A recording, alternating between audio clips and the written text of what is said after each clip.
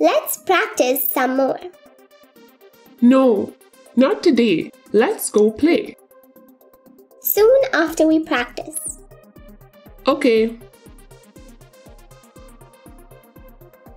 Adding unlike fractions, non-multiples. 5 by 8 plus 1 by 3. Whenever we add two fractions, we have to make the denominators the same.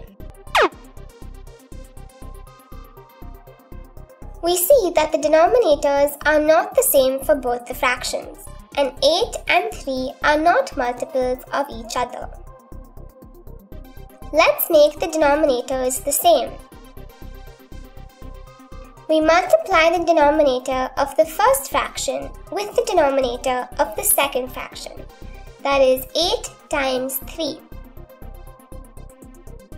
Next, we multiply the denominator of the second fraction with the denominator of the first fraction.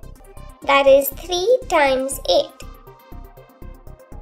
Since we multiply the denominator of the first fraction by 3, we multiply the numerator with the same number, that is 5 times 3.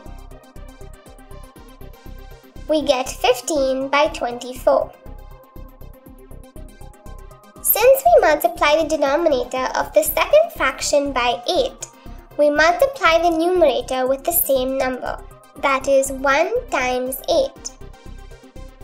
We get 8 by 24.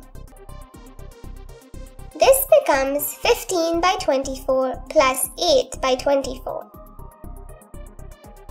Now the denominators are the same for both the fractions, that is 24.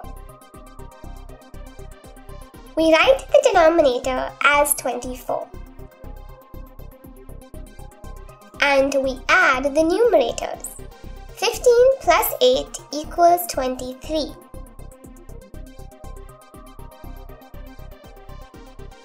The answer is 23 by 24.